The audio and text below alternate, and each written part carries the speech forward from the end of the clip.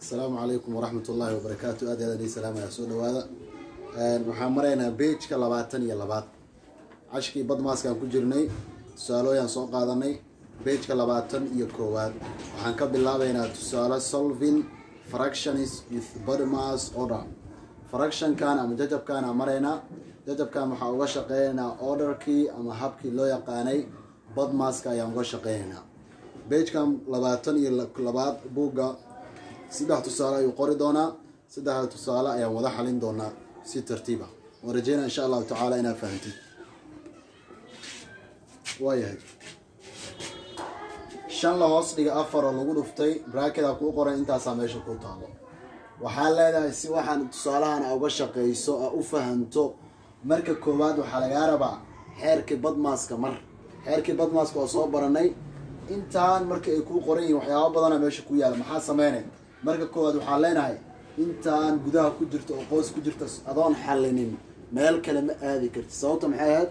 Badmas b a bracket ay ka bilaabanaysa off aa ku xigtay maanta oftiaa kuu taalo oftaan aa ku hormaraysaa marka.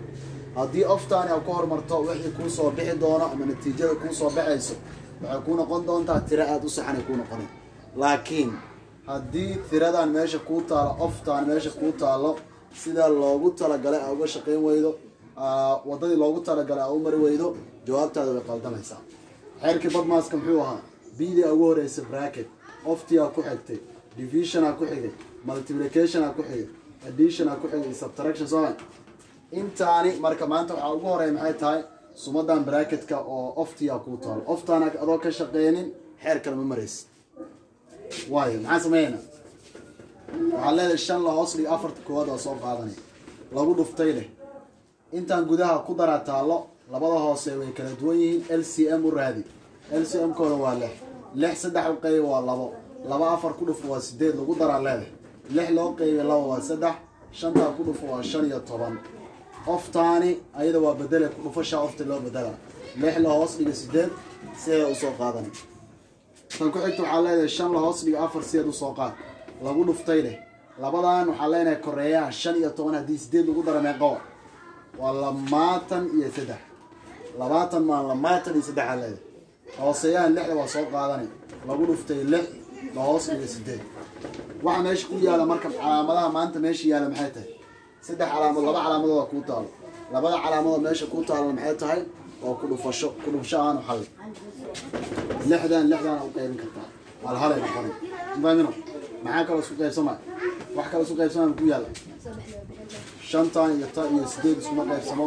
Kadib isku wada dhufo marka shan lagu dhuftay saddex waa shan iyo toban halaa wadato shan laba ku dhufo waa toban. Shan laba ku dhufo waxay waa toban. Halkaa haysi igu dar maxay noqone koo iyo toban. Hooseeyaha imaw hooseeyaha maxaa ku yaalla afar. Sideed ku soo dhufo maxay noqonaysaa waa soddon iyo labo. Kor waxaa kaaga soo baxay boqol toban iyo shan. Hoosna maxaa kaaga soo baxay? Tirada hoosna maxaa kaaga soo baxay? Soddon iyo labo intaa marka aad taaganta maxaa sameynay? Labada waxaa sameynaysaa tiradaani meesha kugu qoran buugga wuxuu u qori doonaa qaab mixed fraction ah. Tiro howlgalo ahaanu u sameyn doonaa. Tiradan howlgalaha maxaa sameynaya marka? Si tiradan howlgalaha meesha tirada kaaga soo baxday buugga tirada qoraa fiiri. Buugga tirada oo qoraa howlgalaha wuxuu kuu qoray. Waa saddex sagaal iyo toban oo la hoos dhig wuxuu kuu qoray soddon iyo labo. Tiradaas inay noo soo baxdaan rabnaa maxaa sameynaynaa waxaa leedahay si mixed fractionkaas ugu badasho saa wax saas u weyn maahan. Waxaa leedahay tirada meesha kuu qoran koy kuu soo hartay meeqeed boqol toban iyo shan oo la hoos dhigay soddon iyo labo sooman iyo soddon iyo labo. Maxaad sameynaysaa? Soddon iyo labada u qeybi isku qeybi marka. Waxaa dhahdaa tan meel dhiga tanna meel dhiga saddex markaad tiro ku dhufatid oo koo iyo toban kuu keenayso ma jirto. Tiro markaad saddex ku dhufato oo koo iyo toban kuu keeni karto ma jirto. Haddaysan jirin maxaa sameynaysaa? Tirada ugu soo dhawaa qaadana tirada ugu soo dhawa maxay noqonaysaa saddexba saddex soomaan saddexdan ku soo dhufso labo waa lix. Saddex saddex ku dhufana waa sagaal. Kadib kala jar. Shan iyo toban lix ka jar toban iyo shan lix ka jar maxay noqonaysa sagaal soomaan halkaani maxaa ku yaalo toban. Sagaal ka jarna maxay noqonaysaa? Waa hal. Meesha maxaa kaaga soo baxa marka saddex soddon iyo laba iyo sagaal. Saddex toban iyo laba iyo sagaalkan qaab noocee loo dhisaa? Inaad fahansantahay wa qaab noocee u dhisaysa xariiqdan samayso. Marka hore laba tiraa kuu qorneed boqol toban iyo shan iyo soddon iyo labo. Soddon iyo laba mar walba hoosay taali sooman soddon iyo laba hoosteeda sida iskaga keena ayada soddon mar walba hoosay taalay oo tirada hoosteeda taalay hoose sida iska keen. Maxaa kuu soo haray laba tiro? Soddon iyo laba iyo saddexa kuu soo haray. Maxaa sameynay? Saddexda tirada kor ka saaran howlgalo ka dhigo. Tan kor saaranna maxaa dhinacan kuu saaranna maxaa leedahay? Koraa geysanaysaa. Qaab noocaasa u dhisaysaa marka. Waa rajeynaya inaan examplekaas aad si toos u fahantay examplekaas muxuu yahay waa example one. Tusaalaha koowaad wa tusaalahaas marka muxuu la mid yahay exerciseka muxuu leeyahay tusaalooyin aada u fara badan ah waa waxyaaba saan u badan oo qaab noocan looga shaqeynayo ku jiro. Waayo examplada kale aan galaynaa marka. Example two oo kale kan horeo la mid yahay waan sharxaynaa example two example three.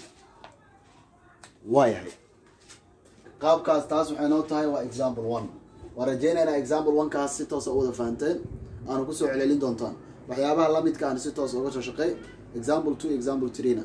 Cashirkeena xigo ayuu inoo noqon doonaa. Bageka labiyo tobanaad ayuu cashirkeena u ahaa. Waan rajeynaa inaad fahanteen aadna ku soo celin doontaa halkaasoo cashirkeena u wadiya